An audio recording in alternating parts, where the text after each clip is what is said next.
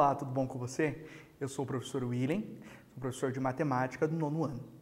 Antes de iniciarmos a nossa aula, eu gostaria de dar alguns avisos para você. O primeiro, bem importante, é não esqueça de acessar o Classroom e confirmar sua presença realizando a atividade proposta do dia.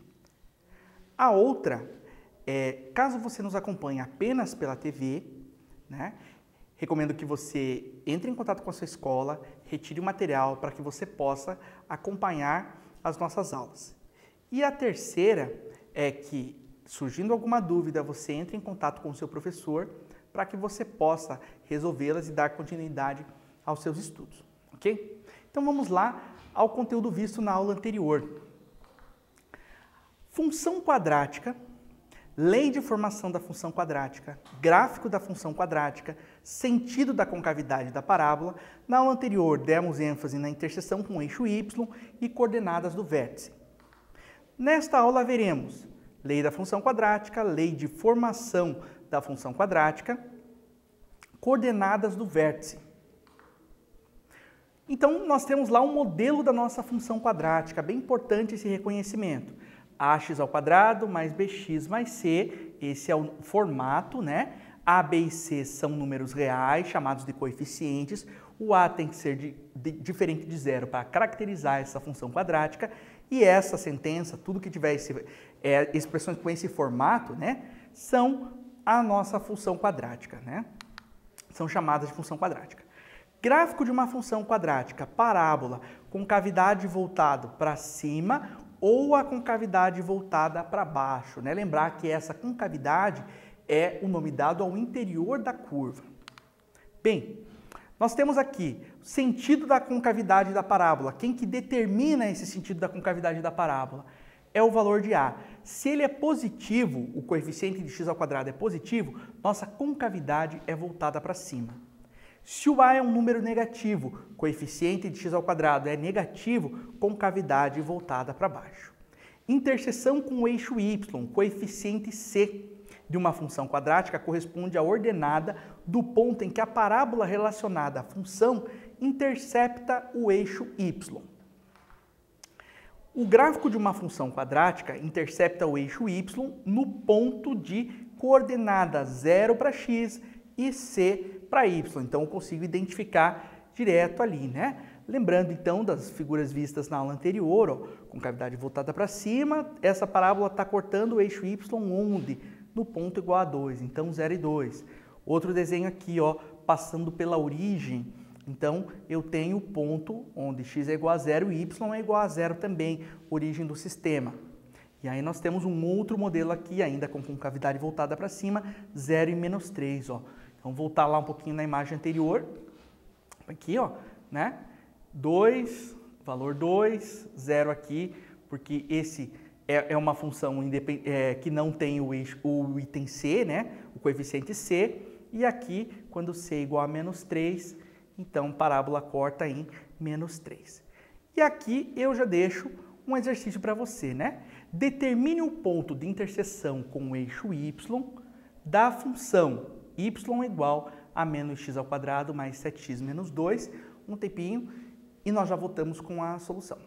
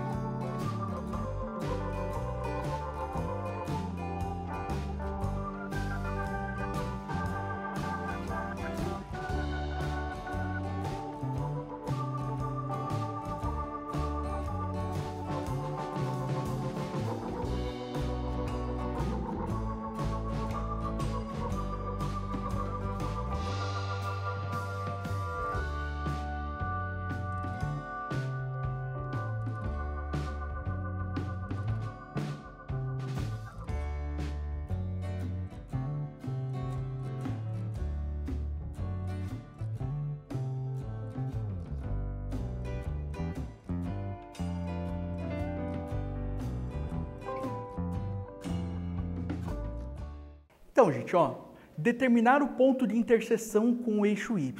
Nós sabemos que vai interse é, interceptar o eixo y onde? Em menos 2. Só que aí, antes disso, né, vamos dar uma olhada na característica dessa parábola. Olha só. Com cavidade voltada para cima ou para baixo. Com cavidade voltada para baixo, porque eu tenho valor negativo. Só que aí ele vai interceptar o eixo y onde? Na região crescente ou na região decrescente. Na região crescente, porque eu tenho o B positivo. Então eu não sei exatamente onde ela vai passar no eixo X, tá certo? Mas eu sei que ela passa por menos 2 aqui, na região crescente, ok? Vai subir aqui e vai descer, ok? Então ela tá, tá crescendo aqui, né? Tem mais ou menos esse aspecto. Só que a nossa intenção era o quê? Determinar o ponto de interseção com o eixo y. E ela intersecta o eixo y onde? Em 0 e menos 2. Ok? Outra forma de determinar essa interseção seria qual?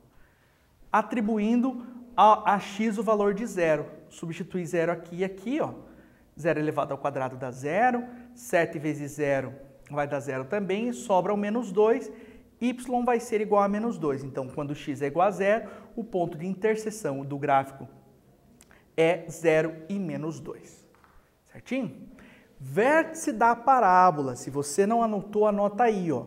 As coordenadas do vértice da parábola correspondem ao par ordenado xv e yv, obtido, para, obtido pelas fórmulas x do vértice igual a menos b sobre 2a. Né? Isso é importante que você tenha anotado para você consultar de uma forma rápida. Né? y do vértice é igual a menos delta sobre 4a. Também anota essa fórmula aí, que ela é bem importante para você. Certinho? Para que nós possamos dar continuidade às nossas aulas aqui.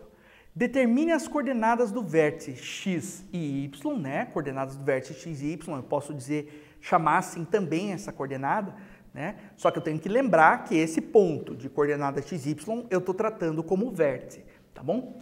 Então, coordenada x, y da parábola que representa cada uma das seguintes funções. Então, eu tenho aqui função a, né? y igual a x ao quadrado mais 6x mais 8 e eu quero coordenadas do vértice.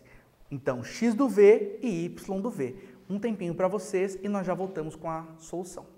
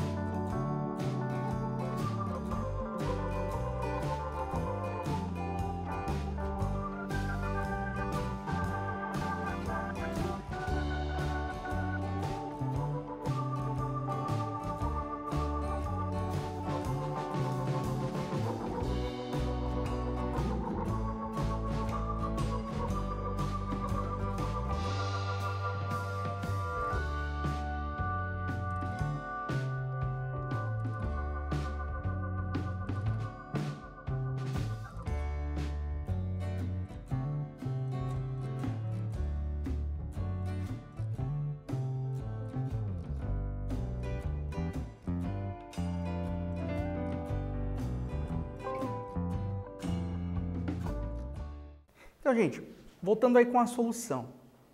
O que, que eu vou precisar aqui? Vou precisar da fórmula do x do vértice e do y do vértice. Então, olha só. Para x do vértice, eu determinei o valor de A, de B e de C. No B, substituí o 6.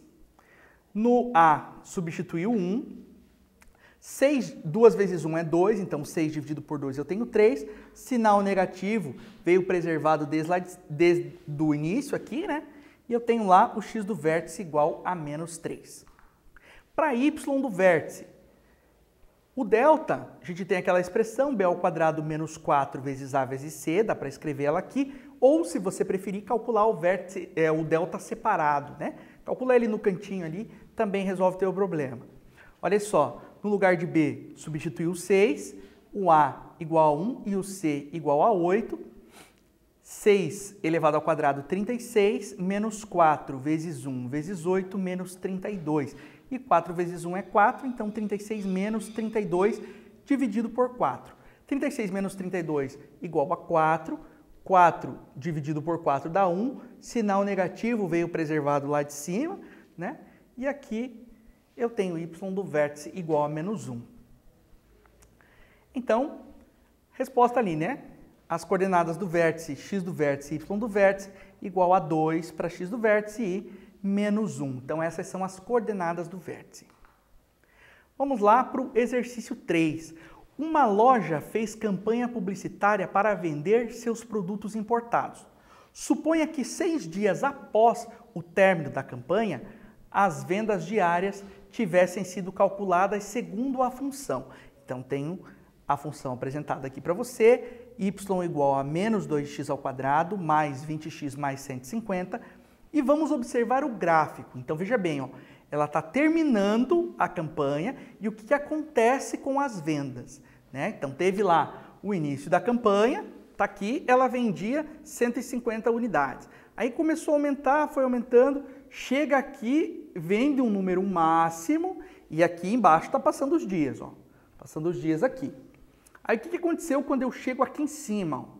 Aqui em cima eu tenho a quantidade máxima de vendas, unidade de vendidas aqui.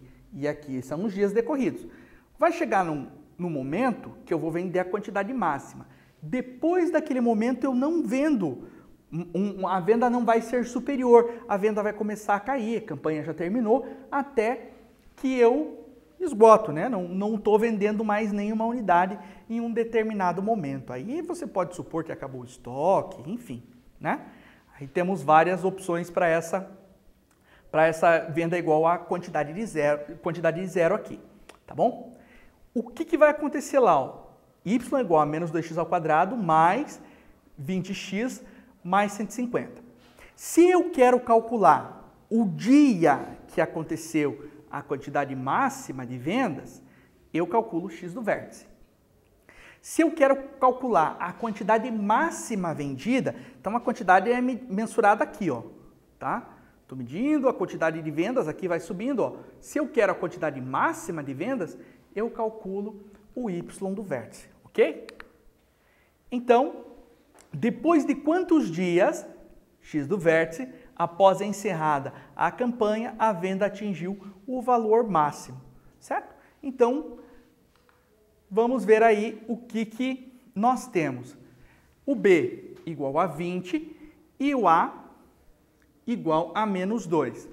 Fez a substituiçãozinha aqui, 20 dividido por menos 4, menos 4 veio de 2 vezes menos 2, 20 dividido por menos 4, menos 5, x do vértice igual a 5. Valor, a, a venda atingiu o valor máximo após 5 dias, certo? Depois, ó, depois de quantos dias as vendas reduziram a zero? Eu quero y igual a zero aqui. O que, que eu vou fazer? Troca o y por zero nesse, nesse momento aqui e eu tenho uma equação do segundo grau. Ou então? Ah, vamos fazer dessa forma então. Menos 2x ao quadrado mais 20x mais 150 igual a zero. b ao quadrado, calculei o valor de delta aqui. 20 ao quadrado menos 4 vezes menos 2 vezes 150. Eu tenho 400 mais 150, né? 400 mais 200, eu tenho delta igual a 1.600. x vai ser igual a menos b mais menos a raiz quadrada de delta dividido por 2a. E eu tenho lá menos o 20 mais menos a raiz quadrada de 1.600 dividido por duas vezes menos 2. E aí eu tenho x igual a menos 20 mais ou menos 40 dividido pelo menos 4. Ok? Menos 20 vai ser igual a menos x1 vai ser igual a menos 20 menos 40 menos 4. x1 vai ser igual a menos 60 dividido por menos 4, eu tenho x1 igual a 15. E o x2 menos 20 mais 40, eu fico com 20 dividido por menos 4, e o x2 vai ser igual a menos 5. Só que o que, eu estava pedindo aqui, né? Depois de quantos dias as vendas se reduziram a zero? Quando que eu chego nesse momento aqui? Então, olha só, encontrei x1 e x2, x1 igual a 15 e x2 igual a menos 5. Então, eu vou considerar o quê? x1 igual a 15 depois de 15 dias. Por que, que eu não considero o, o x2? x2 foi um número negativo. Se eu for analisar o gráfico, olha só, esse menos 5 que nós encontramos, qual seria a posição dele na reta? Ele seria nessa posição aqui. E aí essa data, menos 5 dias, não teria sentido algum para a gente, né? Então, o que, que eu tenho lá? eu tenho dia em que as vendas atingiram o ponto máximo, foi no quinto dia, x do vértice igual a 5. E qual o dia que as vendas zeraram? Eu tenho x1 igual a 15, nesse ponto aqui. Certinho? Exercício 4. Na gravura a seguir, é possível observar a trajetória, as trajetórias parabólicas descritas pela água jogada por meio de duas bombas. Então as bombas estão montando aquele chavariz lá no, no, no meio do, de um lago, né? Então, olha só, considere que as bombas e os pontos de alcance atingidos pela água sejam colineares, eles estão na mesma linha. Que a primeira bomba esteja localizada na origem do sistema cartesiano. Lembra lá quando eu falei de origem do sistema, encontro do eixo x com o eixo y? Né? Então aí você posiciona a parábola saindo da origem, ok? é na origem do sistema cartesiano e que o ponto mais alto da curva formada pelo jato dessa bomba tenha coordenadas 1 e 2. Com base nos textos, né, é correto afirmar que a função determ... que determina a parábola representada no jato da água é. Então aqui eu vou deixar uma dica para você. O que, que você vai precisar fazer? Ó? Se temos o ponto 1 e 2, então, f de 1 tem que ser igual a 2. Sugestão? Você vai precisar fazer os testes com a função. Né? Então, vou dar um tempinho para vocês e nós já voltamos.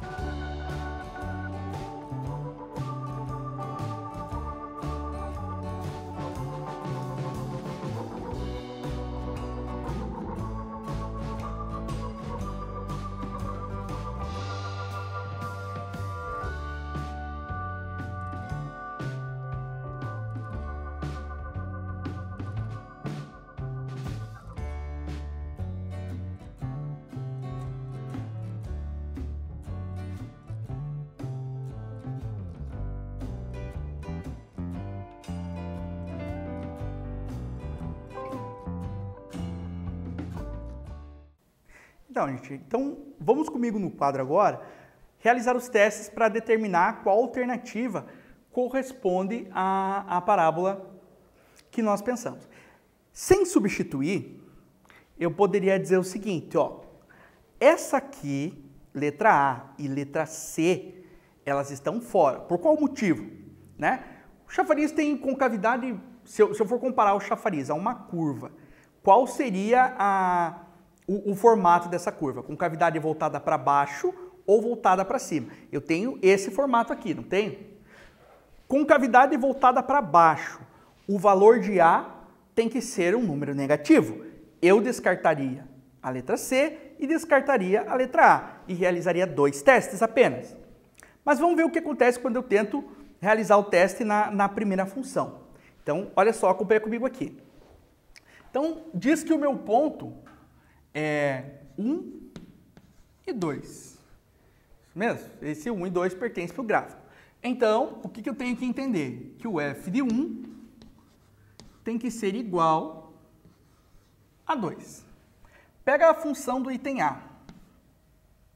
f de x igual a 2x ao quadrado menos 4x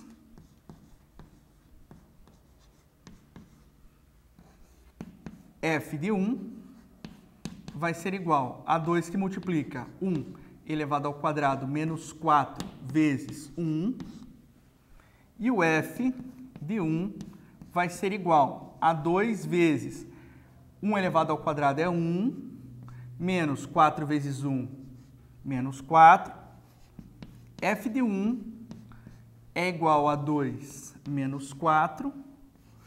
O f de 1 igual a menos 2. Só que o que, eu teria que encontrar?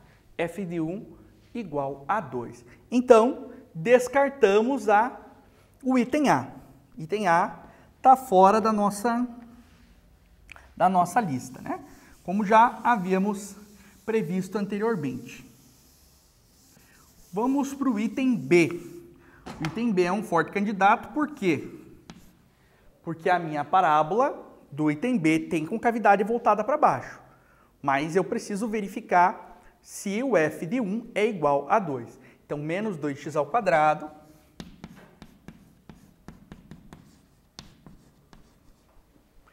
menos 2x ao quadrado, menos 4x. E aí, f de 1 vai ser igual a menos 2, que está multiplicando 1 elevado ao quadrado menos 4 vezes 1. f de 1 é igual a menos 2, e aí 1 elevado ao quadrado é 1, menos 4 vezes 1, menos 4. f de 1 vai ser igual a menos 2, menos 4, f de 1 igual a menos 6. Também não é. Descartei a letra B. Vou tentar a letra C.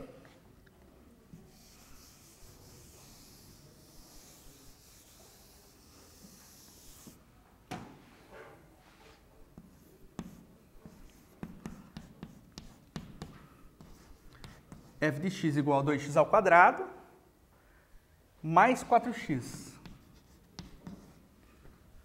e preciso calcular o f de 1.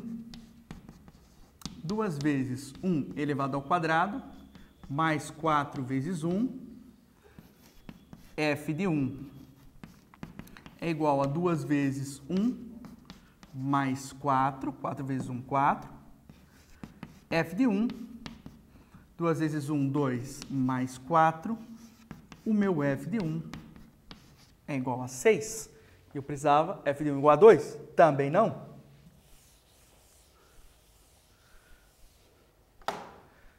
Então, para a letra D, f de x igual a menos 2x ao quadrado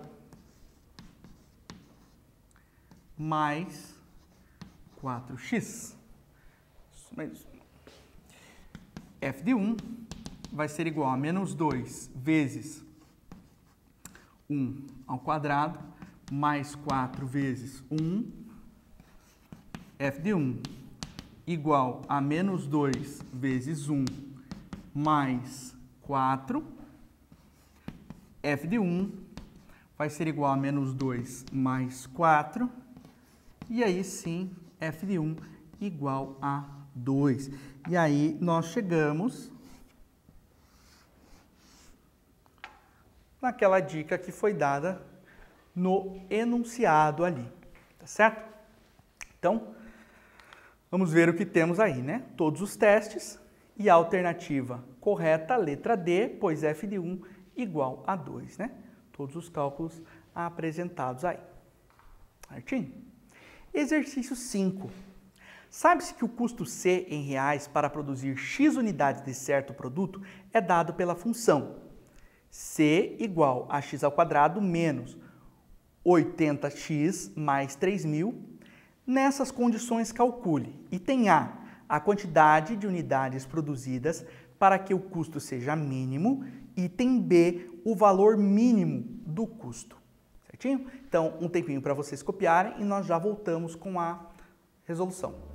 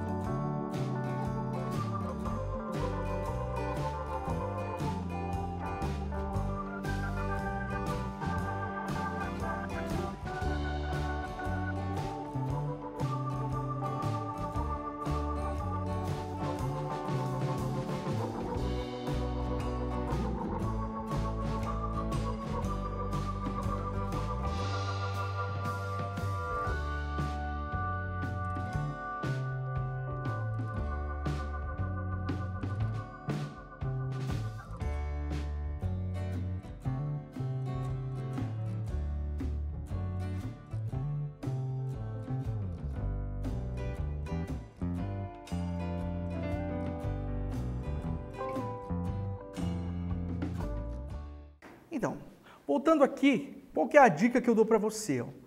Quantidade de unidades produzidas para que o custo seja mínimo. Então, eu diria que eu preciso aqui do x do vértice, né?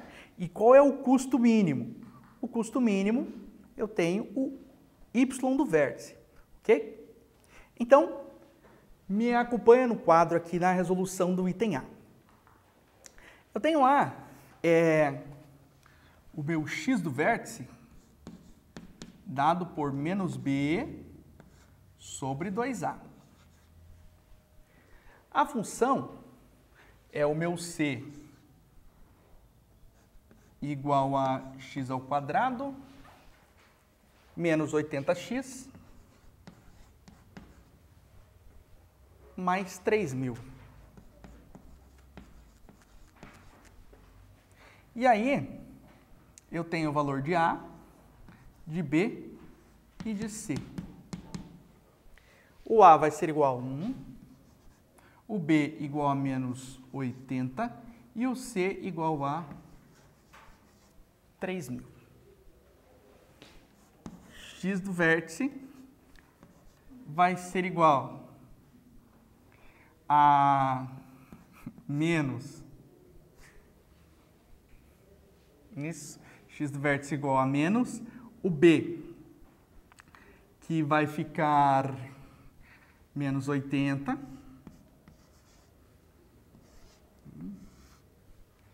dividido por 2a. Então, só acertando aqui.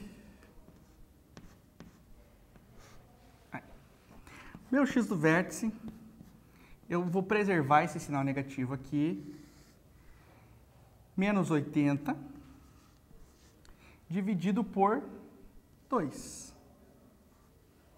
E o meu x do vértice vai ser igual a menos, menos 40. O meu x do vértice igual a 40. Lembrando que eu tenho aí 40 unidades, né? Então, voltando para a tela aqui da nossa solução, né? Então, aí eu tenho o x do vértice como 40 unidades. Então, a quantidade produzida para que o custo seja mínimo, produzo 40 unidades, eu tenho custo mínimo. Né?